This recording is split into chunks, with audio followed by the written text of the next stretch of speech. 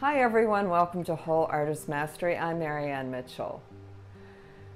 A really important element or piece of developing a painting that really connects to you emotionally and intellectually is the time, the time for just looking at the painting and living into it, especially when you are sort of lost and you're unaware of, or you're without a direction of where you want to go eh, next in the painting.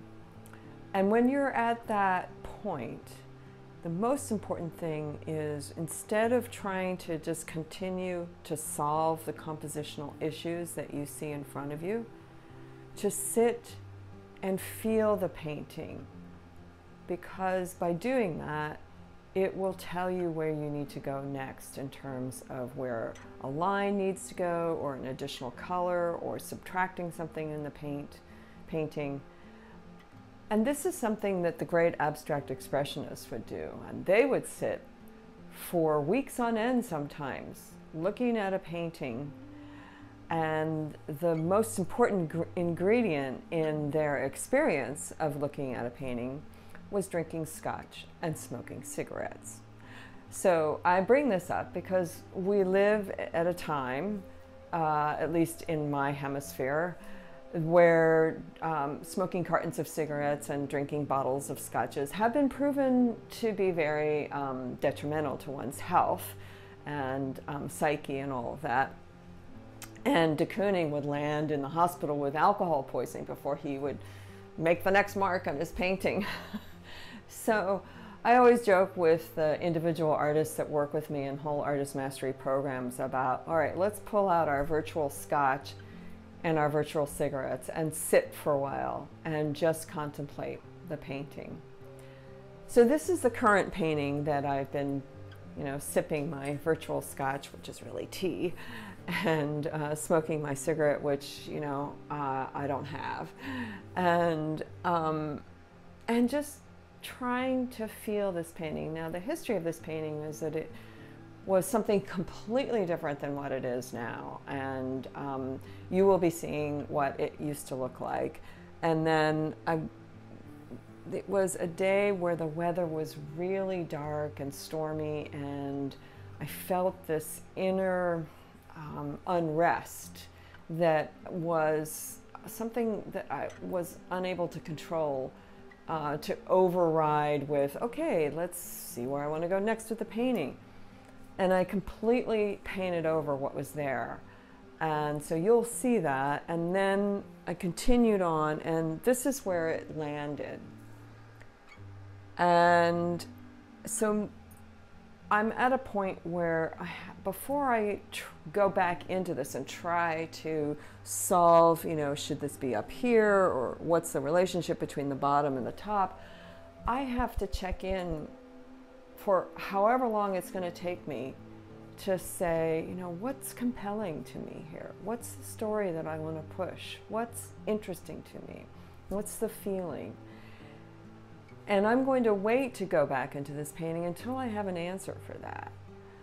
So I invite you for about a minute to just sit where you are and look at the painting and see what it, how it makes you feel.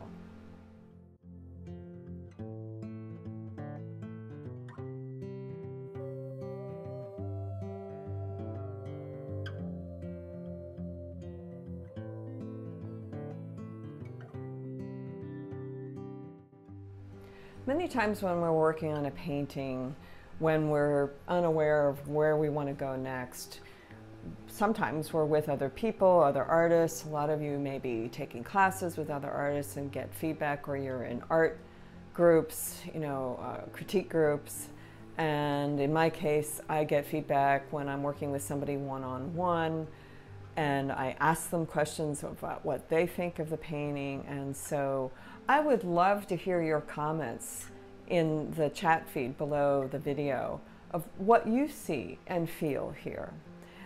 And what I always tell people is it's, it's important to hear how other people objectively see and feel what you're working on, but ultimately, you're the artist.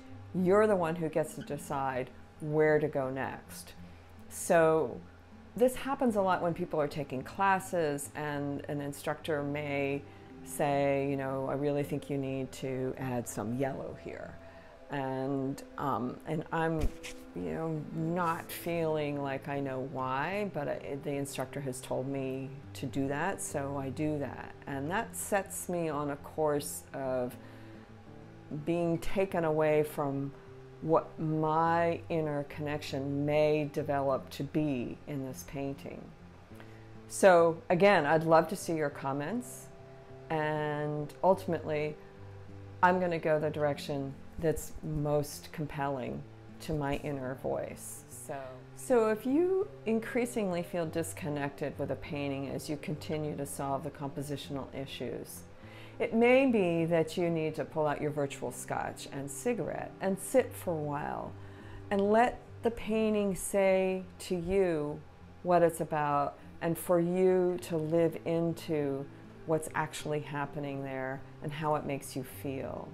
And if this is something that you'd really like to work on in your own practice and need some guidance and help on how to, you know, go from feeling to thinking to feeling to thinking in the development of your work, I invite you to sign up for a complimentary conversation because the individual programs really get to a much deeper, comprehensive level of understanding what you are about and how that informs the work that you make.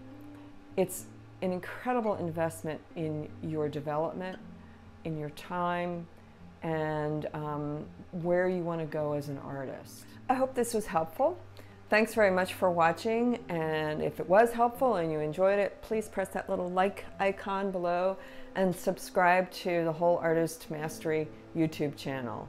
Uh, I so appreciate your support, and I look forward to seeing you next time.